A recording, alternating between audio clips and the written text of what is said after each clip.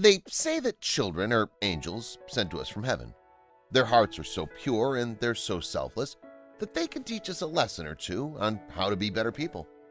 And their simple, innocent deeds and affectionate words can melt even a heart made of stone. But unfortunately, it sometimes happens that these angels leave us too soon.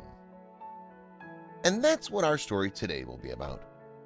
A woman named Ruth Scully didn't know how difficult it would be to look at the bath mat. Many of you might think, what could be so special about a mat? But for Ruth, this mat represents her love for her son. That's because Nolan Scully was terrified to stay away from his mother, even for a moment, because he was battling soft tissue sarcoma. So whenever his mother was taking a shower, he would lay on this very mat waiting for her. It all started with a regular nasal congestion, which few people may pay attention to. At first, the boy just had the sniffles, but then it turned out to be a symptom of a terrible diagnosis. One night, the boy got ill and his parents took him to the hospital, where he was soon put on antibiotics and prescribed a saline spray. But it didn't help.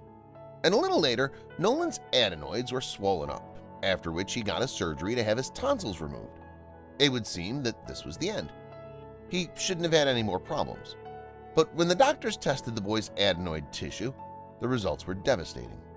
It turned out that Nolan had rhabdomyosarcoma, soft tissue cancer, and he needed to start treatment right away. Months of radiation therapy, chemo, and painful procedures seemed to work in Nolan's favor as it began to slowly recover and his parents saw a ray of hope. They even created a Facebook page for him to document his journey and inspire other children like himself. Every post, every photo of him, tangled in tubes and surrounded by medical equipment had one thing in common – Nolan's warm smile, his eyes full of faith and hope and his incredible will. However, it didn't last long. At the next examination, the oncologist discovered that the cancer didn't get better. It actually reached the point of no return. That's when the doctors insisted that the parents needed to tell their little angel about his condition. When Ruth asked Nolan if he was in pain, he replied that he actually was in pain, but he'd continue fighting for her.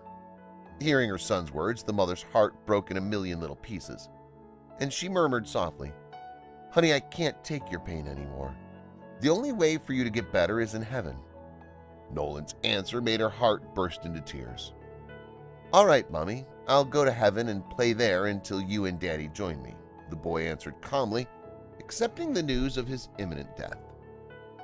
All those who knew Nolan, who knew his story, prayed for the boy, but it was of no use.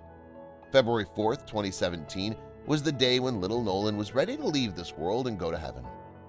I don't think I need to say that not a single parent could ever prepare for anything like this. It must be unimaginably difficult and painful to let go of your only child. The hospital staff made arrangements to stop the chemo. The parents were getting ready to take their child home. They wanted to spend their last days together, but suddenly Nolan took his mother by the hand and quietly said, Mommy, it's fine, let's stay here. I'm not afraid. For the next few hours, Ruth didn't leave Nolan's side, and when she stepped away for a brief moment, having asked her son if she could take a shower and if he'd last a few minutes without her, he nodded back at her.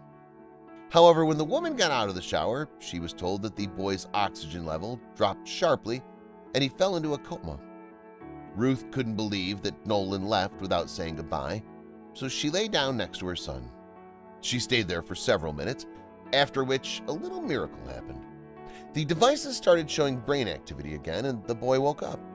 As it turned out, he woke up just so he could say his last four words. He smiled, opened his eyes, and said, I love you, Mummy. And then he closed his eyes forever. Those were the last words of a strong little boy who fought for his life with dignity. A little angel with a big heart. He'll always be remembered not only by his parents, but also by those who witnessed his journey. Ruth later wrote on Facebook, I'm one of those people who are afraid to take a shower. Now the mat on which my son was waiting for me will always be empty.